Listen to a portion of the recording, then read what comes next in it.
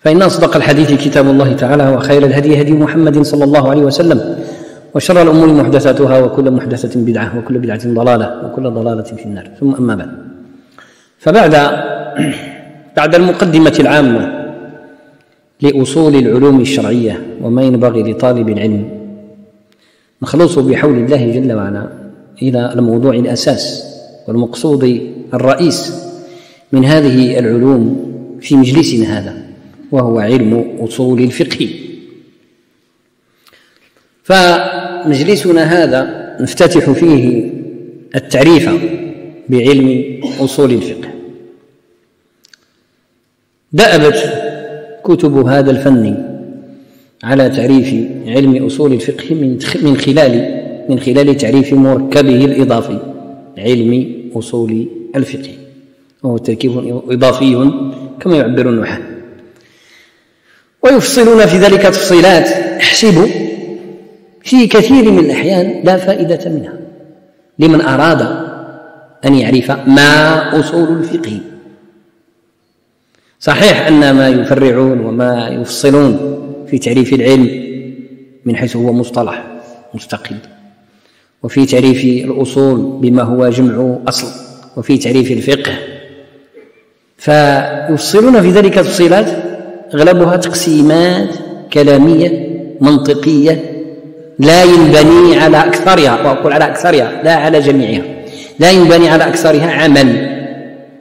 وقاعدة العلماء أن كل علم ليس تحته عمل فهو باطل. أي العلم الذي تبحثه و آه، تسعى من ورائه ثم لا ينبني عليه عمل لا ينبني عليه شيء فإذا لا قيمة له. فإنما سنقتصر إذن في هذا التاريخ. سنقتصر على المقصود أي نريد أن نصل إلى ما علم أصول الفقه. ما هو؟ لا أقل ولا أكثر. وبالمراس والتجربة في تدريس هذه الصناعة وفي مدارستها ولمن شاء أن يجرب ذلك في الكتب أو في بعض الكتب بالأحرى التي فصلتها التفسير مع الأسف أغلب المصنفات المتأخرة هي على هذه الشاكلة يعني المصنفات التي ألفت بعد تقريبا يعني القرن الخامس الهجري تقريبا صارت على هذا الفن أو على هذا على هذه الشاكلة في التعريف يعني على طريقة المناطق في تعريف مصطلح علم الفقه إلى العهود المتأخرة إلى العصر الحديث تقريبا.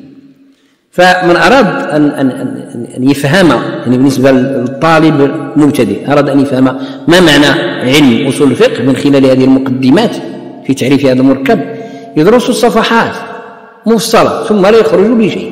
أي هو لا يفهم في نهاية المطاف لا يخرج بمعرفة ما أصول الفقه. فاذا إذا لم يعرف ما أصول الفقه من خلال شروح وشروح فما قيمة هذه الشروح اذا إذا المشكلة ليست دائما في المتلقي لا ليست دائما في المتلقي لا. المشكلة في بعض الأحيان وفي هذا السياق في بشكل خاص في المرسل أي في الشارح والدارس والمصنف. وهذا الأمر قد نعاه على المؤلفين في هذا الفن غير واحد من أهل العلم من الأقدمين ومن المحدثين. فمن أشهر الأقدمين في ذلك أبو إسحاق إبراهيم بن موسى الشاطبي الأندلسي المعروف صاحب كتاب الموافقات وغيره من العلماء الذين انتقدوا الطريقة المنطقية في تقديم المفاهيم وعرضها وشرحها. فإذا نخلص إلى المقصود. حينما نقول علم علم أصول الفقه فالمقصود بالعلم باختصار هو الصناعة لا أقل ولا أكثر يعني الفن لأنهم يتحدثون في ذلك ويفسرون. العلم بالمعنى المنطقي بما هو مقابل للظن أو رتبة من مراتب الإدراك كذا. كل ذلك لن ينفعك في هذا السياق. من أراد أن يدرس تلك المفاهيم فهي في المنطق وفي بنية علم المنطق لفائدة المنطق لا لفائدة الأصول.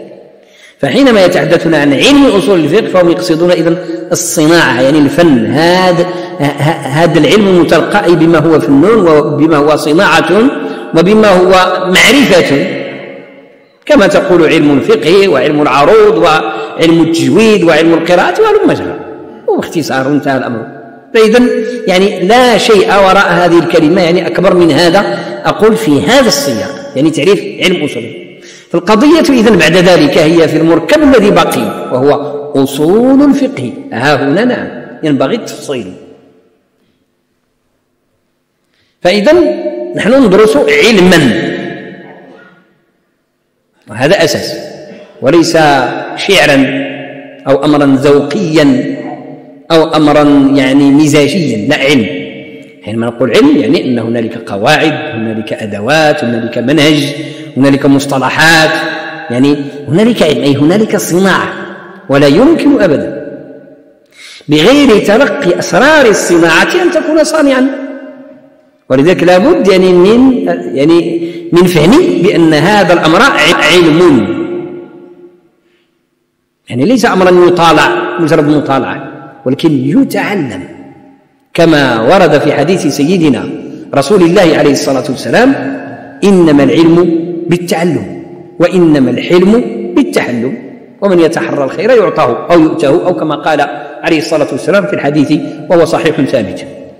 فإذا نحن إذا إزاء إذا صناعة لابد أن نتعلمها ولابد أن نتقن أسرارها.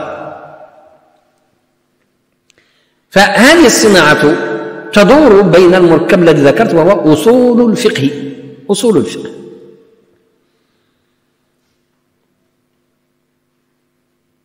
أصول الفقه لا بد في بدء تعريفه وفهمه إجمالا وكليا لا بد من البدء من كلمة الفقه لا العكس. لأن كثير من الكتب كيتبعوا الترتيب. في الشرح يقول لك العلم هو كذا وكذا وقال فلان سير واحد العشرة صفحات في العلم. عود بذلك الأصول جمعوا أصلين والأصل كذا القاعدة سير أو صفحات. ثم بعد ذلك الفقه. ولا يخ ولا تخلصوا لشيء لا.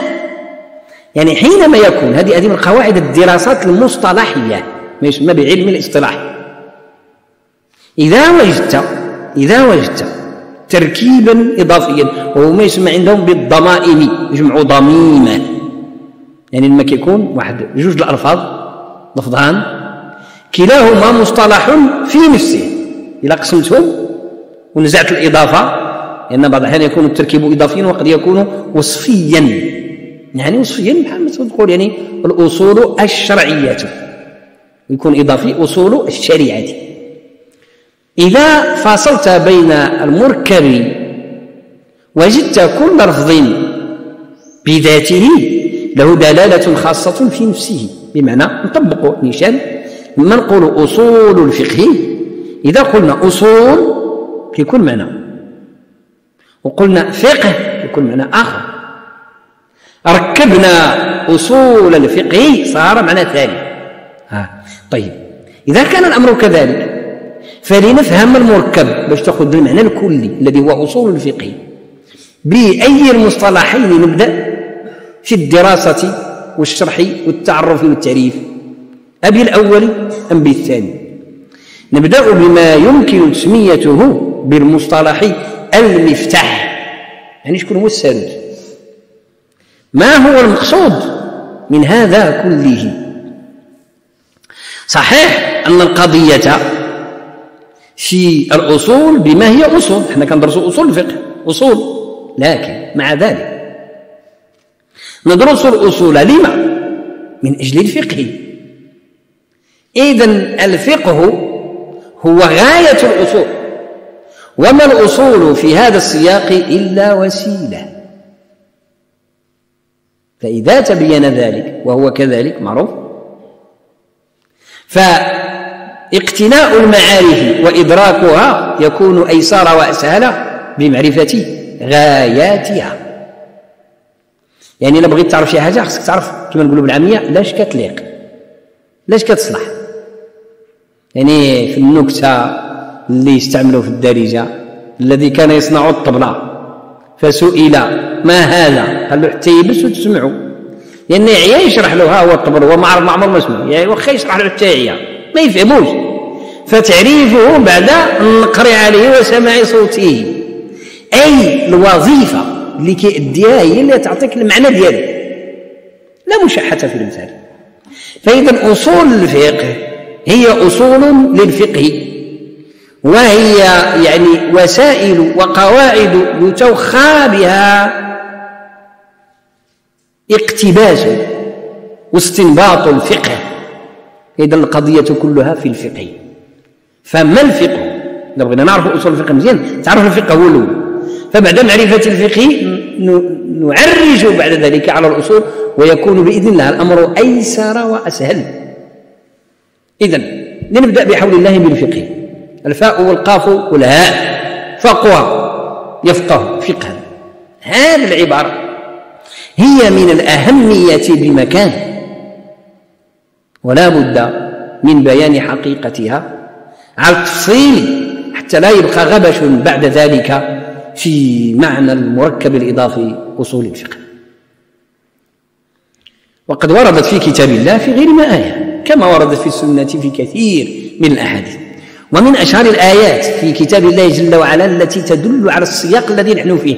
إن يمكن نجيب المعنى العام يعني الفقه العام الكوني.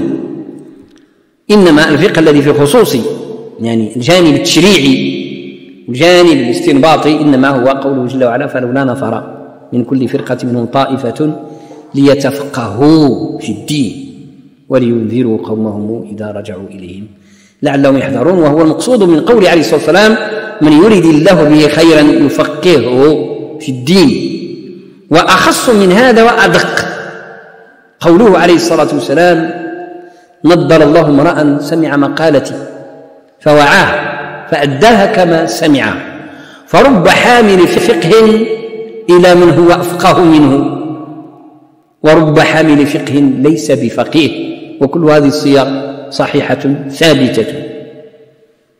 إذا يتبين من خلال هذه النصوص من كتاب الله وسنة رسول الله عليه الصلاة والسلام أن الفقه أمر زائد على النص التشريعي يعني الفقه شيء والنصوص شيء آخر. ليتفقهوا في الدين يفقهوا في الدين. وأحببت أن أقف مليا ها هنا علاش؟ لأن كاين خلط فعلا عند الناس. وعند طلبة العلم بشكل خاص. وقد يؤدي ذلك إلى كثير من اللغط وكثير من اللجاج والحجاج. فيما لا طائل من ورائه. فلا بد من بيان هذه المسألة. الدين هو الشريعة هو النصوص ليتفقهوا في الدين. نضر الله امرأ سمع مقالتي إنما هي السنة إذن. والبلاغ عن رسول الله عليه الصلاة والسلام نبلغ, نبلغ عنه كتاب الله وسنته أي وسنة رسول الله بلغوا عني ولو آية. نضر الله امرأ سمع مقالتي فوعى إذن هو وعى الأدلة الكتاب والسنة. لكن وهذا هو الشيء اللطيف في الحديث. هذا يعني هذا حديث أقول تشد إلى حقائقه الرحال. يعني المعاني دي خص الإنسان يسافر عليها يمشي يجيبها. مهم جدا. لأنه يعطي لطالب العلم فرقانا ونورا مبينا ليكشف مدارج التعلم. باش يعرف الطريق كيفاش يدير التعلم؟ ليكشف ويكتشف مدارج ومدارك التعلم فقوله عليه الصلاة والسلام فرب حامل فقه إلى من هو أفقه منه. ولا في الصيغة الأخرى الصحيحة أيضا فرب حامل فقه ليس بفقيه. دال على أن الإنسان إذا قد يستوعب الأدلة قد يحفظ الكتاب وكثيرا من أحاديث رسول الله عليه الصلاة والسلام. لكن ليس بالضرورة أن يكون من أهل الفقه. النص دال على هذا دلالة قطعية لا تحتمل التأويل من حيث الدلالة فرب حامل فقه ليس بفقيه ثم الفقه مراتب بدليل الحديث أيضا. فرب حامل فقه إلى من هو أفقاه هذه صيغة تفضيل فقد يكون فقيها لكن قد يكون من هو أفقاه منه. وهذا دال على أن الفقه إذن مراتب يعني فقيه درجة أولى درجة ثانية درجة وهكذا وفوق كل ذي علم عليم. وهذا الأمر فسر فيه العلماء قديما وبينوه في أن العلم من حيث هو فقه مراتب أيضا.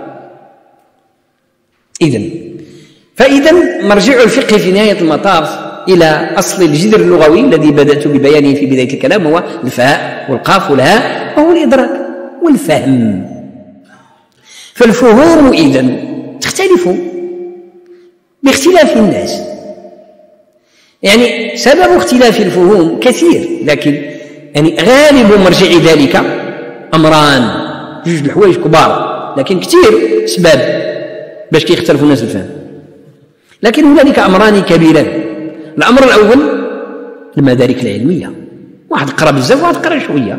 شيء طبيعي. أنه سيكون فهم هذا أعلى وأرجى من فهم الذي لم يدرس ولم يتعلم كثيرا. فمن يعني نذر حياته للعلم ولطلب العلم وتفرغ لذلك. وكانت صناعته إنما هي العلم ليل نهار. فرق كبير بينه وبين من يشتغل بالعلم وللعلم ولكن على فترات يعني كينقطع. فاذا هذا سبب. وليس هو السبب الوحيد أقول ولكن هو سبب مهم. السبب الثاني ما يؤتيه الله العبد من الفطنة والذكاء وهو أمر غير مكتسب. العلم مكاسب والذكاء مواهب. شي من عند الله سبحانه وتعالى؟ يعني الناس يعني في العلوم الطبيعية وكذا كيقولوا يعني وراثي كذا قد يكون يعني جانب وراثي ولكن هنالك الجانب يعني الرباني الهبة. التي يعطيها الله جل وعلا يعطيها الله جل وعلا للعبد.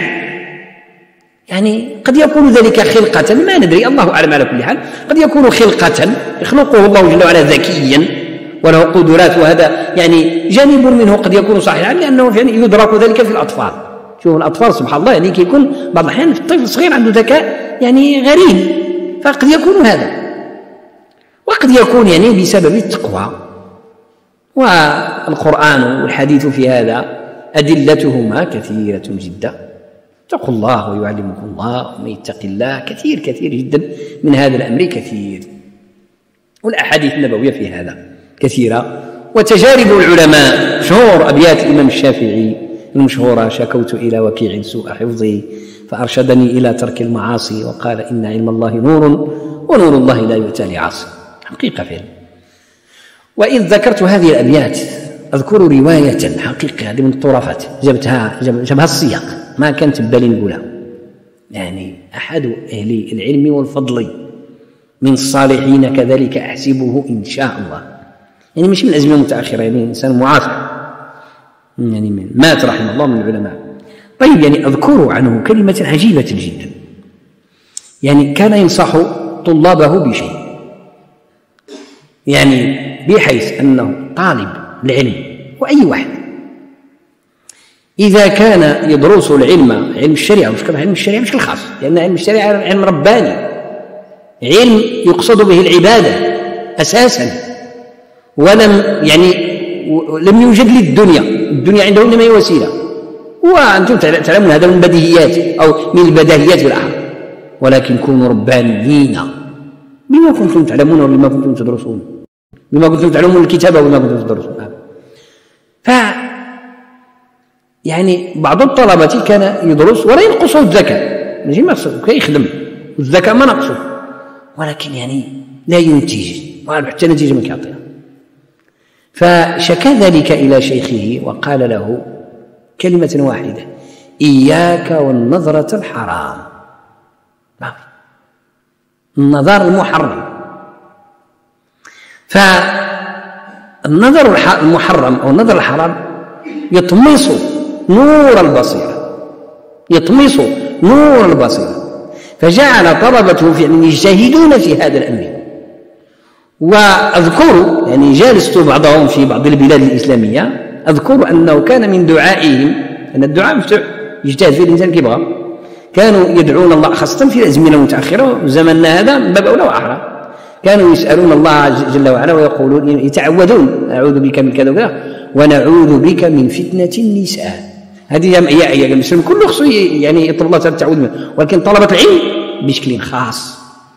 لأن فتنة النساء فعلا وخاصة النظر الحرام تذهب بنور البصيرة وتطمس العلم, العلم. الذي قد يكون وقر في القلب من خلال التعلم والتلقي عن المشايخ والمدارسة في الكتب. فيعني يرسخ ما يرسخ من بالذكاء وبالمطالعة وبالمدارسة والتلقي ولكن بمجرد ما يعني تتلقى أو تلقي نظرة غير مشروعة محرمة فإنك آنئذ تتلقى ظلمات تنزل على تلك الأنوار فتمسخها. وإنما ذكرت هذا حينما ذكرت أبيات الإمام الشافعي رحمه الله شكوت إلى وكيع سوء حفظي فأرشدني إلى ترك المعاصي المعاصي التي تهدد طالب العالمية في زماننا هذا يعني بشكل خاص إنما هي معاصي النظر الحرام مع الأسف الشديد هذا من باب يعني البيان في هذه المسألة. فقلت إذا نرجع إلى ما نحن فيه وهو أن يعني الفقه والفهم والإدراك وكل ذلك بمعنى واحد مرجعه إذا قلنا. الطلب يعني القراية الواحد يدرس يربع يقرأ. الطلب والتعلم هذا الأول. والثاني قلنا إذن يكون موهبة من الله. هذه الموهبة يعني فيها جانب خلقي وفيه جانب جانب جزائي. يعني أن الله عز وجل يجازيك ويجزيك على قدر تقواك. ويقذف في قلبك وفي روعك نورا. هو الذي يعني يصير فيما بعد حكمة كما قال شيخنا وإمام مذهبنا مالك بن أمس بن أنس رضي الله عنه ورحمه معرفا الحكمة بأنها نور يقذفه الله في قلب العبد. فإذا أنت لا تكسبه ولكن يعني الله يهبك إياه. إنما هذه الهبة مشروطة بما ذكرت بالورع والتقوى. فإذا خلاصة الأمر أن الفقه إذا إدراك فهم. فبما أن هذه الأمور تختلف من شخص إلى شخص القدرة والاستعداد على طلب العلم والدراسة والصبر على المتابعة هذا يختلف من شخص إلى شخص. الناس شتى في هذا الأمر؟ وبما أن أيضا تحصيل التقوى يختلف الإيمان منازل والجنة منازل وفي هذا يعني آيات وأحاديث كثيرة. إن كما في الحديث الصحيح إن المنا... أهل المنازل لا تراءون كما تراءون الكوكب الدري في السماء الحديث الصحيح. فبما أن هذه الأمور إذا تختلف يعني درجاتها ومراتبها فنتائجها التي هي الفهم وقلنا هذه يعني يعني الأساسيات ديال الفهم نتائجها التي هي الفهم ستكون بطبيعة الحال تختلف من شخص لآخر. علوا ونزولا وسعة وشمولا وضيقا وكلية آه، وجزئية وهلم مجرى وقد تكون أسباب أخرى كثيرة يعني تتعلق ب يعني اختلاف الفهم. لكن قلت في البداية هذه يعني وهذان الأمران هما يعني الموردان والمصدران الرئيسيان للإدراك وللفهم في الحقائق أو للحقائق والأشياء إذا عندنا النصوص وعندنا فهم النصوص وفقه النصوص ولا بد من التمييز بينهما وهذا الأمر يعني حقيقة قرآنية وحديثية. هذه هذه هذا الوحي ينطق. يعني هذا الأمر ليس اجتهاديا. يعني ماشي إنسان كيقول راه كاين الفقه بوحده والحديث بوحده لا. الوحي كتاب والسنة يعني الدليل. شكل والفقه والفهم شكل اخر فاذا هذا هذه نصوص تنطق بها. ثم هنالك تاريخ العلم. يشهد بهذا. ولا خلاف فيه. يعني بدءا بعهد الصحابة رضوان الله عليهم إلى زماننا هذا. فقد كان الفقه يعني معنى أو شيئا مستقلا عن النصوص.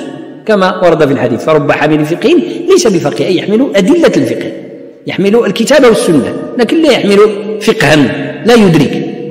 وفرق العلماء أهل الحديث وغيرهم فرقوا في الرواة من الصحابة والتابعين وغيرهم بين الراوي الفقيه والراوي غير الفقيه. قد يكون حجة ثبتا ثقة لكنه ليس بفقيه. فتكون رواية الفقيه أرجح عند الاختلاف وعند التعارض في علم أصول الفقه عند التعارض والترجيح. إذا تعارض حديثان مستويان حيث الثبوت. هذا صحيح الإسناد في الأول المتصل الإسناد بنقل عدل ضابط الفؤاد عن مثله من غير ما شذوذ أو علة قادحة فتديد ما كاينش سبب لتضعيف الحديث. فمن بين المرجحات التي اعتمدها أهل العلم أن يكون راوي أحد الحديثين أفقه من الآخر أو يكون يعني هذا الراوي فقيها والآخر لم يعرف لم يعرف بالفقه. فترجح رواية الفقيه لأسباب كثيرة. لأنه من بين الاحتمالات الواردة من بين الاحتمالات. هذا الأمر بحر لا ساحلا أن الرواية بالمعنى في الحديث قد حصلت في التاريخ فلا يؤمن أن يكون ال الذي روى الحديث من غير الفقهاء لا يؤمن أن يكون قد رواه بالمعنى. فروى ما فهم هو وبما أنه لا يطمئن إلى فهمه بالمقارنة مع الآخر الذي عارضه وما كاينش معارضة ماشي مشكل. كاين معارضة. بما أنه لا يطمئن إلى فهمه المحتمل بالمقارنة إلى الراوي الآخر الذي روى ما خالفه فنرجح رواية الفقيه على رواية غير الفقيه. هذا فقط يعني للبيان أو لبيان أن هذا الإشكال قديم مش عندنا ومن أصوله التي وقعت في زمان رسول الله عليه الصلاة والسلام الحديث المشهور المتداول حديث بني قريظة. من كان يؤمن بالله واليوم الآخر فلا يصلين العصر إلا في بني قريظة. اختلف الناس. هؤلاء أصحاب رسول الله. ما سبب الاختلاف؟ الفقه. فكلهم سمع الحديث من رسول الله. ما كاينش مشكل ديال ثبوت الحديث أو عدم ثبوت الحديث. كاين إشكال في الفهم. فحينما أنزل العصر في طريق ولما يبلغ بني قريظة قال قوم هذا وقت العصر نصلي. قال آخرون كلا أمرنا الا نصلي العصر إلا في بني قريظة. باش يفتحوها؟ بالسريه فيعني الأولون أخذوا بفقه الحديث. قالوا إنما قصد منا الإسراع. راه اللي قال لنا النبي صلى الله عليه وسلم اللي كيأمن بالله واليوم الاخير ما يصلي العصر حتى لبني قريظة بمعنى أنه ما خص يشدك العصر حتى لبني قريظة. يعني ما ينبغي أن يدركك وقت العصر إلا وقد وصلت بني قريظة. يعني بمعنى أنه يعني وجب دلالة اللزوم لازمك إذن أن تسرع حتى يدركك العصر في بني قريظة. هذا الفهم. آخرون أخذوا بالظاهر. قالوا لا نصلي العصر إلا في بني قريظة. فما صلوا إلا وقد أسدال الليل ستاره جاء العصر. عادوا صلوا بني قريظة وصلوا وكلاهما كان موافقا للدليل. هذا الشيء الجميل في الأمر. كلاهما كان موافقا للدليل. فأهل الفقه وافقوا. المقصود والمراد. أي كانوا على فقه إدراك فهم. وأهل الظاهر نعطيوها التسمية الآن واخا يعني ماشي بالدقة لأنه المدرسة الظاهرية لن تظهر في الفقه إلا بعد سنوات قرون. وأهل الظاهر أخذوا بظاهر النص الحرفي. وذلك الظاهر رغم أنه غير مراد تحتمله اللغة. إلا بغيت تفسر الحديث هكا تفسره ممكن. فحرفية اللغة تعطي هذا المعنى. فإذا لا ينبغي الإنسان أن يفزع من هذا. الشيء كله يعني له آثار نفسي أنه في العصور المتأخرة ضاق الناس ضاق الناس بالخلاف وهذا فساد في طلب العلم. بقى واحد محتاج ما يحمل أنه يخالف واحد آخر هذا غلط ما ممكن. أصحاب رسول الله عليه وسلم اختلفوا إنما الشرط في ذلك أمران لا ثالث لهما. أن خلاف إذا وقع بالمقتضيات العلمية. يعني ماشي؟ يعني هذه نسميها سارية. وانت تقول له ودي لا هي بقرة. آه غير ممكن. فلا بد إذن أن يكون هنالك يعني حظ من المعقولية الاستدلالية. هذا اللون ثم وهذا أصعب منه أن يتخلص الإنسان من نوازع الهوى. هذه المشكلة حقيقة. يعني المشكل في الذي يحصل في هذا السياق غالبا أنني أريد أن يكون الحكم كذا. ماشي الأدلة تريد. لا أنا أريد. ودع الأدلة تنتج الحكم الذي اقتضته القواعد العلمية. سواء وافقت مرادك وهواك أو لم توافق. عندك ما دير فالإنسان إذا استطاع أن يتخلص من هذين الأمرين يحقق الجانب العلمي التقني الصنعة الصنعة ضبط الصنعة استدلالا وإتقانا ومعرفة بالقواعد والأصول والنصوص في عندك ثلاثة ولا أربعة النصوص وباقي يعني ما جمعت النصوص كاملة في الموضوع وتريد أن تفتي أو أن تصل إلى الحكم؟ لا. يعني تكون عندك شروط كاملة. مما سنفسره بعد حينما ندخل إلى صلب موضوع علم أصول الفقه بحول الله. ثم بعد ذلك أن تكون لله وبالله حقيقة. إن شاء الله بهذين الأمرين مهما يقع من الاختلاف لا يضر. بل ينفع إن شاء الله. حتى ولو كان الاختلاف من النقيض إلى النقيض. واحد يقول حرام وواحد يقول جائز في خطرة. وقد وقع. يعني في زمان الصحابة والتابعين ومن بعدهم إلى يومنا هذا. ولا يضر ذلك ولا يفسد للمودة قضية كما يقولون. وهذا النوع من الخلاف وقع بين كبار الصحابة وكبار التابعين وكبار فقهاء الأمصار مالك والشافعي وأبي حنيفة وغيره. ولكن كانوا أحبابا في الله. يعني منارات للهدى. وأجمع الناس أجمع الناس على جلالة قدرهم وعلى ورعهم والاقتداء والتأسي بهم فإذا قلت الفقه بما هو شيء مختلف عن النصوص أمر واقع. في النصوص نفسها تشهد به وفي تاريخ العلم بدءا بأحاديث آه، النبي عليه الصلاة والسلام والوقائع التي وقعت زمن الرسالة زمن الوحي. فكان النبي صلى الله عليه وسلم يفض الخلاف في كثير من الأحيان بين الصحابة. يعني كثير كثير النصوص يعني في هذا العام الصحابيان اللذان كانا قافلين في رجوع إمام من اليمن إلى المدينة واختلفا في الصلاة بالتيمم أو في الصلاة بالوضوء بعد التيمم. يعني عدم الماء ما لقوش الماء. فتيمما وصليا ثم أدرك الماء بعد ذلك. أحدهما توضأ وأعد والآخر بقي على الأصل. صلاة صليناها. الله يجعل بركة صلينا بالتيمم دازت فقال الآخر كلا الآن حضر الماء نسخ ما فعلنا فأعاد الصلاة بوضوء. فقال له النبي صلى الله عليه وسلم للذي أعاد لك الأجر مرتين. وقال الذي لم يعد أصبت السنة. وهذه النوازل يعني وأمثالها أضربها كثير. يعني حينما اختلف الشخصان في أكل الحوت يعني الذي قذف به البحر. البحر ما جايين مسافرين وفي الجوع ورمى لهم البحر واحد الحوته كبيرة ميتة. فألقى إلينا البحر. هكذا في الحديث. دابة يعني كيقصدوا سمكه كبيرة حوتة كبيرة ذاك. الحوت ديال الأطنان. دابة يقال لها العنبر. يعني ربما ذاك الحوت الكبير يعني حوت يونس يعني اللي كيدير العنبر. الله أعلم. هكذا في الحديث. دابة يقال لها العنبر ولكن كاين من المعنى فأحدهما قال هي ميتة. الآخر قال له نحن مضطرون. فأكلا منها في نهاية المطاف وتزودا خذوا اللحم ملحوا اللحم قددوه ادوا معه فأخبرا رسول الله صلى الله عليه وسلم بذلك فأجاز لهما أكل ميتة البحر ونبأهما بأن ميتة البحر من المباح. في مثل هذا السياق ماشي في هذه النازلة في نازلة أخرى ولكن في مثل هذا السياق قال هو البحر هو الطهور ماؤه الحل ميتته. فقال هل معكما منه شيء؟ فأعطاه هذاك اللحم المقدد من السمك فأكل منه عليه الصلاة والسلام. فإذا هذه نوازل كثيرة تدل على أن الصحابة اختلفوا في زمن رسول الله صلى الله عليه وسلم وكان سبب الخلاف الاختلاف في مدارك الفهم. سبب هو الفهم. ماشي لأن النصوص ما حضرش عندهم النصوص.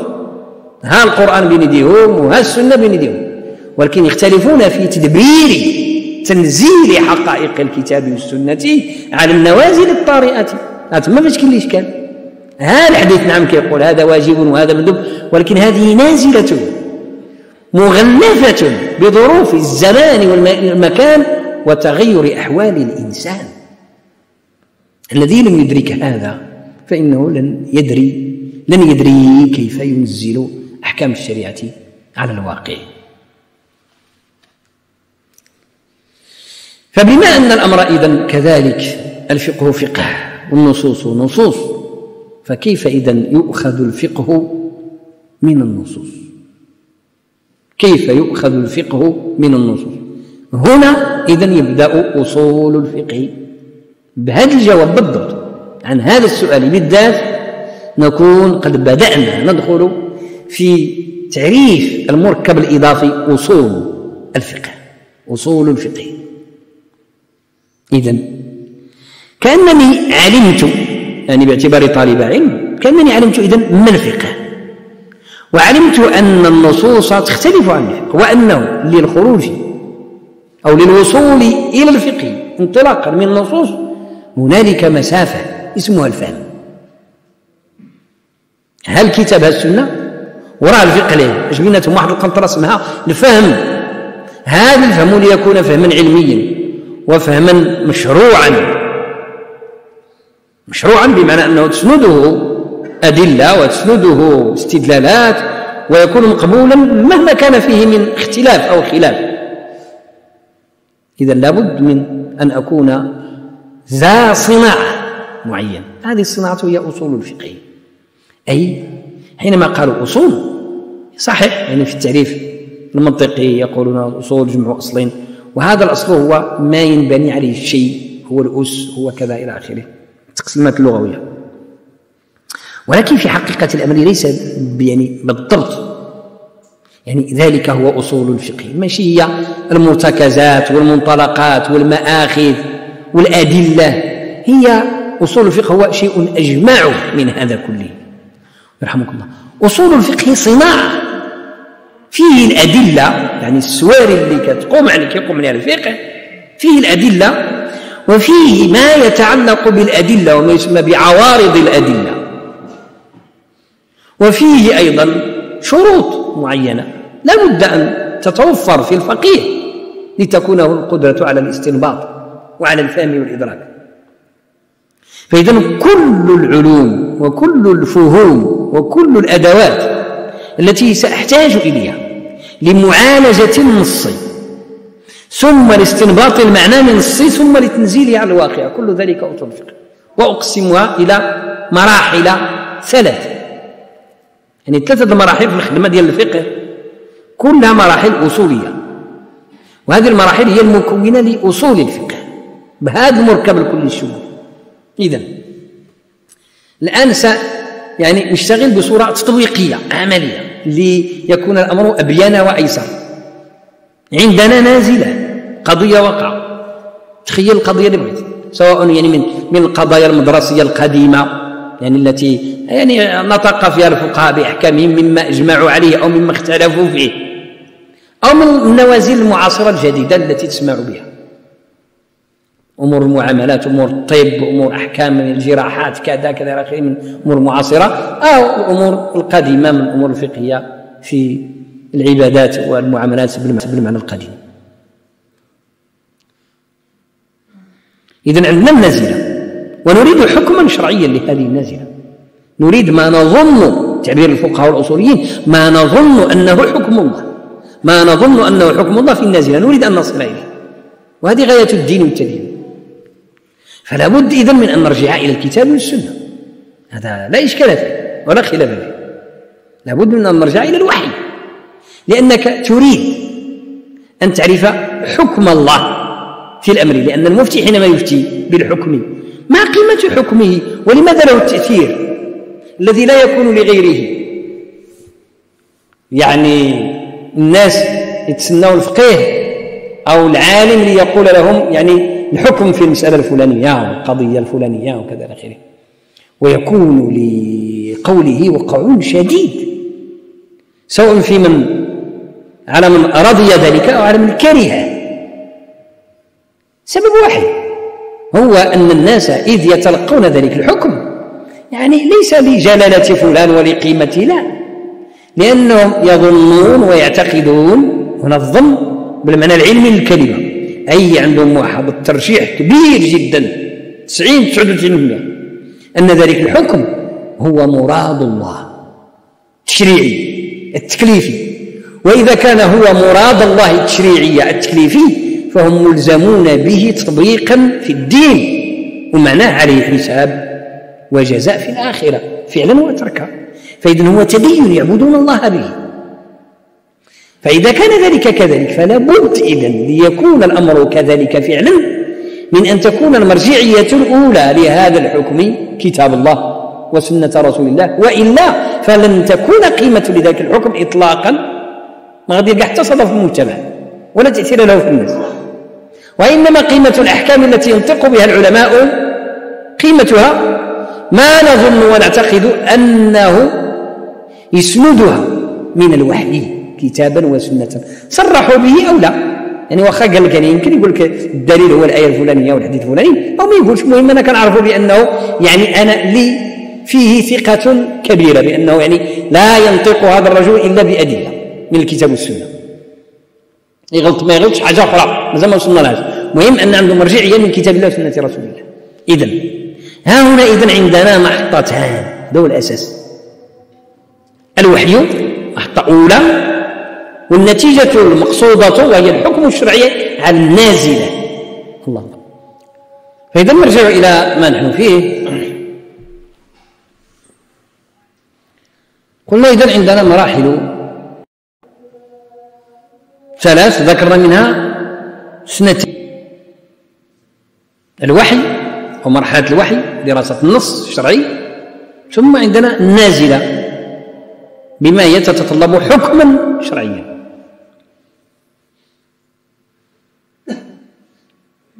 فأثبتنا إذا أن بين النص الشرعي والنازلة مرحلة قلنا هي الفهم الإدراك هي أنا وأنت. بمعنى أنه هي الإنسان. هي الإنسان الذي سيتصدى للفهم والاستنباط. ولذلك لا بد من بيان شيء ها هنا. قل ما ينتبه إليه الناس في هذا الزمان من طلبة العلم. وهو نسبية الفقه. ما معنى نسبية الفقه؟ نسبية الفقه يعني الفقه ليس مطلقا. الفقه ليس معصوما. هذا المقصود. الفقه ليس كاملا. يدخله الخطأ والصواب. يدخله الاحتمالات. من الحسن وعدمه. والصواب وعدمه علاش لأنه دخل الإنسان.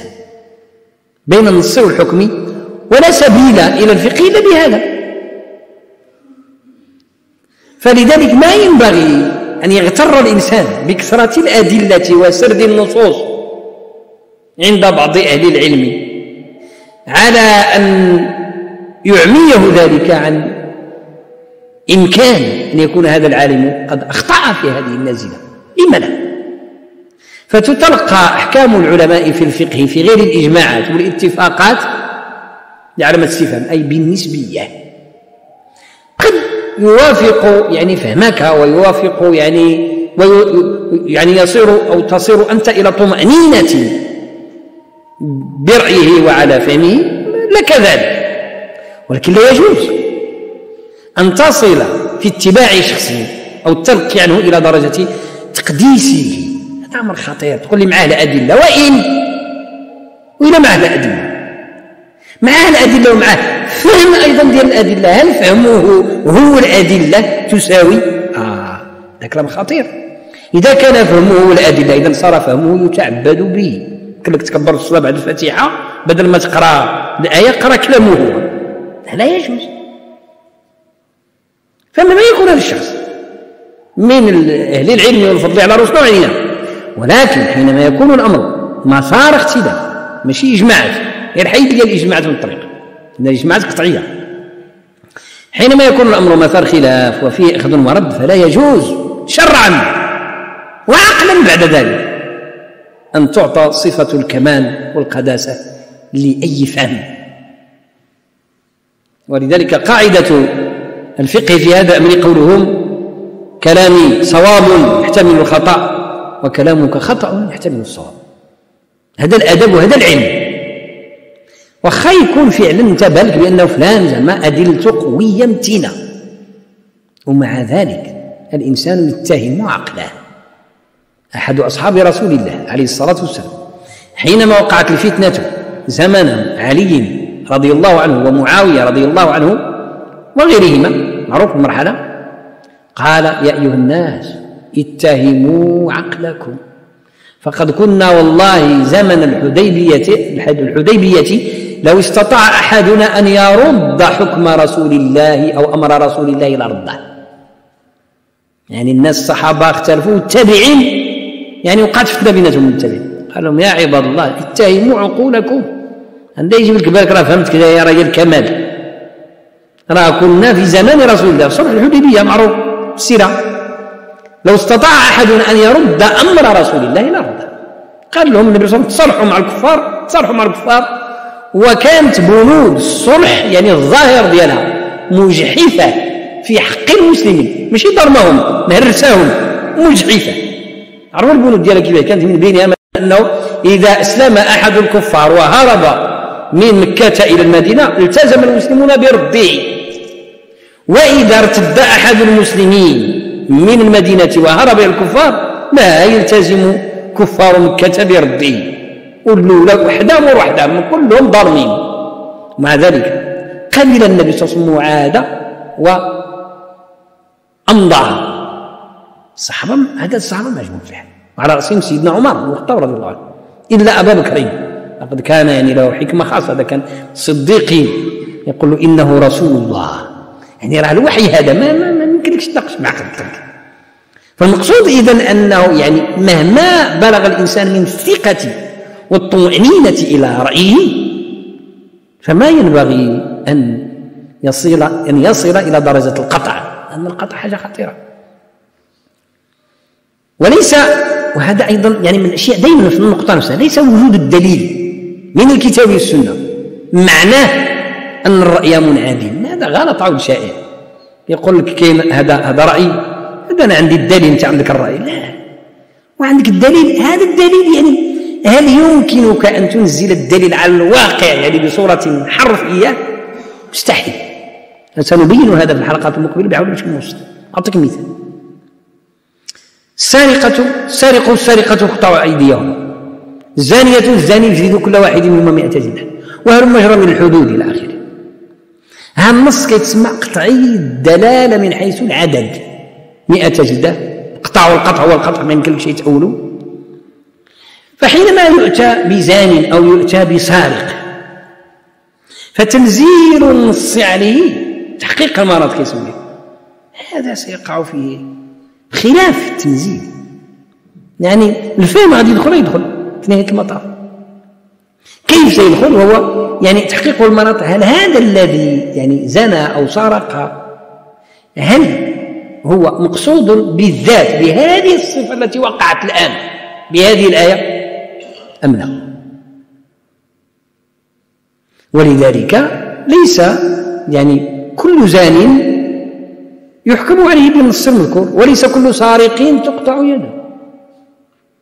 ليس كل سارق معروف يعني بأن واحد السرقه حينما قعد العلماء وحده فقال هو خذ مكلف مالا محترما لغيره من حرز خفية دون شبهة إلى غير ذلك من الشروط التي جعلوها حتى يميزوا بين السارق المقصود بالنص والسارق غير المقصود بالنص. فمن لم يسرق نصابا من المال لا تقطع يده. يعني اللي سرق فلوس ما وصلوا شيء الزكاه كتقطع في الدول الإسلام. حتى يوصل. يعني ديك الصرخه اللي صرخ تكون بالغة في حاجة اللي كتزكى. أما ما وصلش الزكاه ما, ما لم يبلغ النصاب لا زكاة فيه. وأن يكون تكون السريقه بالياء يعني اللي حاجة مسروقة. تكون السريقه كالطريده ان تكون السرقة مما كان في حرز. حاجة اللي كانت مخبعة. أما أنت رامي فلوسك بواحد الشكل يعني باين وتسرقت لا تقطع يد السارق. يعاقب ماشي ما كيتعاقب شيء. يعني واحد الحانوت مثلا حط واحد مليون ديال الفرنك فوق فوق فوق الطبلة فوق الكونطوار وجا واحد يهزو. لا تقطعوا يده أحسن عوانه حتى هذاك اللي هزو شاف مليون يعني ماشي عمرها مزيان ولكن أنت شجعته على السرقة. فلذلك لا تقطع يد السارق وإنما يعني يعذر كيتعاقب عقوبة تعزيريه يمكن القاضي يحكم عليه بأي حاجة يجلدوا يحبسوا ويغرم ذاك الشيء إلى آخره من المسائل. ولكن لا تقطع يد السارق لأنه كاين واحد واحد العقوبة حتى لمول الفلوس يقول له أنت عاود جمع فلوس ما تخلي فلوس مشتتين فيعني كل هذا يعني يعني لا تتوهمنا بأن كون الدليل معك يعني يعصمك من أن عقلك قد دخل في انت تأخذ المعنى حرفي والسلام ولهذا يعني الفقه للنصوص إذا لم يدخل في مجال الدلالات فسيدخل في مرحلة الاستنباط. وإذا ندخل في مرحلة الاستنباط دخل في مرحلة التحقيق والتنزيل وهو التطبيق. حتى بغيت نزل نزيلة في الواقع يوقع إشكالات. ولا بد من الفقه في جميع الأحوال. فإذا قلنا عندنا مرحلتان كبيرتان تتوسطهما مرحلة ثالثة وهي مرحلة الاستنباط. فأدرس النص أنا نمشي للوحي هو ولا بد في دراسة النص اذا من أن أعرف ما النص ثبوتا ودلالة. إلى قرآن راه خلاص متواتر. كان سنة لابد من أن أعرف درجة الصحة درجة الثبوت. أصحيح هو أم ضعيف أم أم إلى آخره. ثم لابد من أن أجمع النصوص جميعا. واحد النص جزئي وتستنبط منه. في في قضية واحدة لابد من أن تحيط بكل النصوص الواردة في الأمر. ثم بعد ذلك يعني قلنا يعني ثبوتا ودلالة من حيث يعني المستوى الدلالي لذلك النص. يعني لأنه النص يعني الدليل من كتاب الله وسنة رسول الله عليه وسلم قد تكون له مراتب دلالية مختلفة وقد يكون قطعي الدلالة. يعني المعنى واش عنده معنى واحد ولا عنده ثلاثة ولا أربعة المعاني؟ ممكن تفهمهم. فما المعنى المحتمل؟ إذا إذا وصلنا إلى إلى إلى إلى أن هنالك معاني آه، متعددة لابد من أن أبين المعنى الراجح والمعنى الظاهر المتبادر إلى إلى الذهن. ولكن كل ذلك يبين بقواعد. يعني كل شيء لابد من من دليل لما نقول هذا النص له آه ثلاثة معاني. ممكن؟ وأقول المعنى جيم هو المعنى المقصود. ماشي غير هكاك. حينما أقول المعنى جيم هو المقصود لابد من أن أثبت علميا بالأدلة اللغوية والشرعية والعقلية. أثبت من بأن جيم هو المقصود وأن ألف غير مقصود وأن باء غير مقصود. وإلا نكون في الهوى. وانعدام العلم. فإذا هذه مرحلة تدرس فيها النصوص. حتى إذا بينت بأن المعنى كذا هو المقصود انتقلت إلى المرحلة الثانية وهو استخراج الحكم الشرعي وما يسمى بالاستنباط. هي المرحلة الثانية في في في في في الفقه وفي العملية الأصولية لأن كل شيء هذه خدمة الأصولي بما هو فقيه ولا فرق في العمق لا فرق بين الفقيه والأصولي في العمق لا فرق بين الفقيه والأصولي. وهذاك التفريق غير تفريق منهجي مدرس مدرسي من أجل التعليم والبيان. وإلا فيستحيل عقلا أن يكون هنالك فقيه فقيه غير أصولي غير ممكن. معناه إذا وجد معناه أنه ليس بفقيه اخترع فإذا عملية الاستنباط وهي بلورة الحكم الشرعي. تخرج الحكم الشرعي. وجوبا أو ندبا أو كذا إلى آخره يعني بمسوغاته الشرعية بعدما فهمنا المستويات الدلالية للآية أو للحديث أو للآيات والأحاديث إذا كان جميعها في القضية أو النازلة الواحدة. بعد ذلك إذن نستخلص الحكم. ثم بعد استخلاص الحكم إحنا باقيين في الإطار النظري. مازال ما عطيناش فلان الفتوى بعد استخلاص الحكم نظريا نخلص إلى المرحلة الأخيرة. وهي النظر في النازلة. أي الواقع اللي وقعت في التاريخ الفلاني الزمان الفلاني الفلان ولا الفلانة بنت فلان. أي النازلة المحكومة بظروفها المكانية والزمنية والإنسانية وننظر هل هذه النازلة تستوعب هذا الحكم الشرعي النظري الذي استنبطناه من الكتاب والسنة بهذا الشكل؟ أم لا بد من بعض التكييفات؟ لا بد من بعض الضوابط ليناسب الحكم الشرعي مقصوده الشرعي نظرا. لأن النازلة فيها أمور جدت لم تكن قبل أو خاصة بهذا الإنسان. قد تتيح له ضربا من الرخصة والحكم فيه عزيمة. وقد وقد وقد وقد. تحقيق المناط كما ذكرت قبل فننزل الحكم بعدما استنبطناه على ما يناسب الزمان والمكان وبما لا يخرم وهذا هذه المعادله الصعبة. خصك تناسب الزمن والمكان ولكن بما لا يخرم نصوص الشريعة. خصك تناقض مع الشرع. فتحل ما حرم الله أو تحرم ما أحل الله. لا. ولكن يعني ينبغي أن تناسب بتنزيلك الحكم الشرعي على النازلة. ينبغي أن تناسب الزمان والمكان وظروف الإنسان. ولكن قل دائما بما يوافق أصول الشريعة كتابا وسنة. هذه إذا خلاصة عامة عن هذه الصناعة التي هي أصول الفقه. هذه الصناعة ديال الفقهيات بالضبط. تفصيل ذلك مرحلة مرحلة. يأتيه بعد بحول الله في الدروس اللاحقة إن شاء الله. وفقنا الله وإياكم ما يحب ويرضاه. وصلى الله على سيدنا محمد وآله وسلم تسليما والسلام عليكم ورحمة الله وبركاته.